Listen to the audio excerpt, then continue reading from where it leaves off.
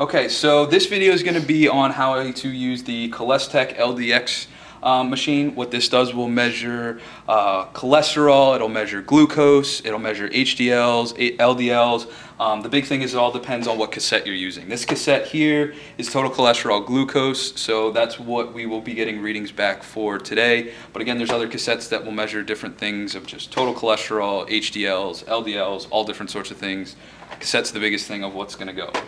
Um, safety information, obviously make sure you have gloves, make sure you have safety glasses. We're dealing with blood, so we need to make sure that we have the proper safety attire. We will be dealing with needles, um, which are what you see here. These are disposable, one-use disposable needles.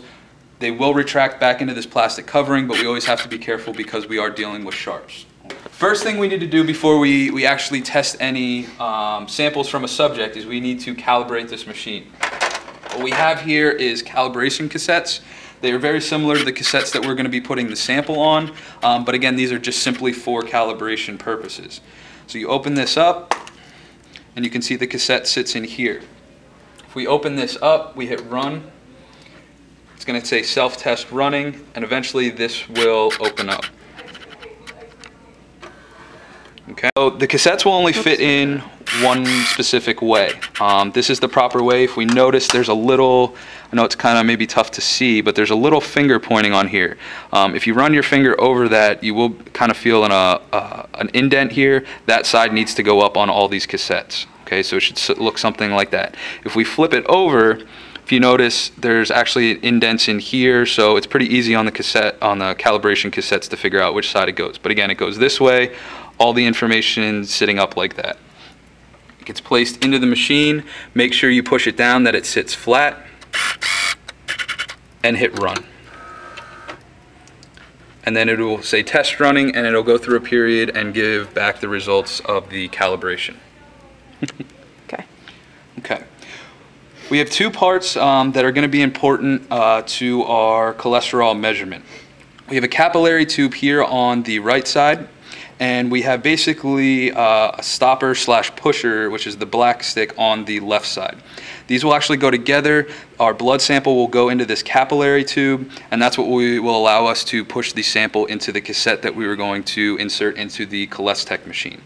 So how this works, if you notice, there's a black line and a red line. The stopper goes on the side with the red line. We place it in right like that it goes all the way down to this black line, which is actually a small stopper inside the capillary tube. So it should sit right like that. When we take our sample, we will use this end of the capillary tube and we'll place that over the um, blood sample from our subject. And little by little, it will continue to suck the blood up all the way up to this black stopper. And that'll be a big enough sample for our cassette. Okay? So with our subject, the first thing we need to do is clean um, the finger that we're going to use. We use a simple alcohol swab for that. We're going to be using the pointer finger of our subject here. So we simply just take the alcohol swab and we rub, uh, wipe down the whole tip of the finger, the sides, um, all the way at the tip, and then the pad of the finger itself. Okay. We need to make sure that we let that dry before we do any type of um, finger stick because the rubbing alcohol will actually throw off the values um, if for any reason that gets um, into the sample. All right, as that dries, we can get ready our um, uh, finger stick apparatus, or these are called a Unistik, a one-use disposable lancets. Okay, if you notice there's a gray top to this, what simply that is is to protect the needle while, uh, while it's not being used. Simply you just twist this and if you notice it starts to push itself up, just keep twisting and eventually it will pop out. Now, the important thing to remember, this is already loaded. So as soon as you take that gray cap off, if you touch this flange here, it's gonna uh, eject the needle. So we need to be careful. As soon as that gray top comes off, leave that on till the last moment possible, okay? Our finger's dry now. We can get our sample. We're gonna go towards the tip of the finger. If you look here, oh, there's actually a flat side to the uh, front of this lancet.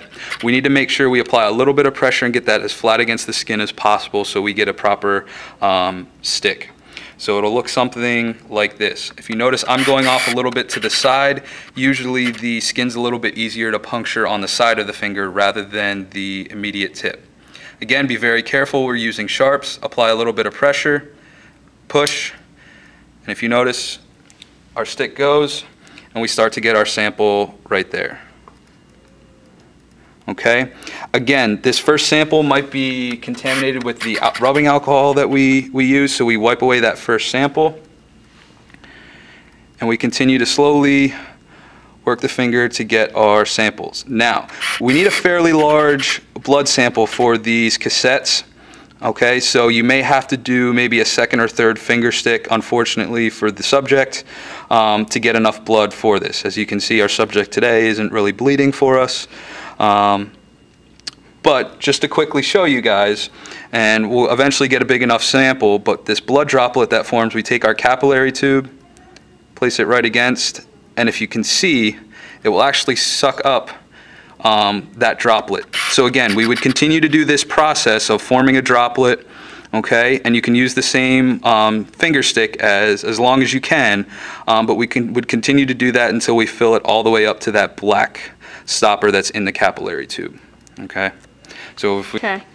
all right, so we now have our full sample here. If you notice, our capillary tube is completely filled to that black stopper, okay? Next thing we're going to do is get out our cassette. They come individually packaged out of the uh, cardboard box. They are refrigerated, so we don't want to leave these out too long. Um, we need to only take them out when, when needed. So we open it up. It looks very similar to our calibration cassette. You notice our little finger pointing here, right in this little opening, right above my fingers where the is where the blood sample is going to go. There's a little piece of filament paper that's right at the top of this um, that will suck up the blood sample. We need to make sure that whole filament paper is colored red with our sample before we can place it into the machine. Okay? So what we do is we place this down. We place the end of the capillary tube right into the opening. So I know it's a little difficult to see, but there's a little opening right here, right at the bottom of the paper. We push it to the tip of that filament paper and then we push our black piece. And if you notice, that filament paper starts to turn red. And we continue to push very slowly and you can see that paper start to fill up. Um, typically it will take most of this sample. Sometimes you'll start to see a little bit of a backflow here. Um, just pause for a second and it'll continue to pull that sample up okay, until our whole sample is in there. Okay, we place this in a sharps container. These capillary tubes are glass, so we would make sure to deposit this in a sharps container. All right, with the cassettes, be very careful. Again, we have somebody's body fluids that are exposed. We want to make sure we don't come in contact with that as best we can. That's why we have our gloves on. For the Cholestech machine, we started up by hitting run. And this shelf will open up. Okay, same thing, place that cassette right in just like we did with the calibration cassette. Make sure it sits flush. Okay, once it's in, hit run, and it will begin its process.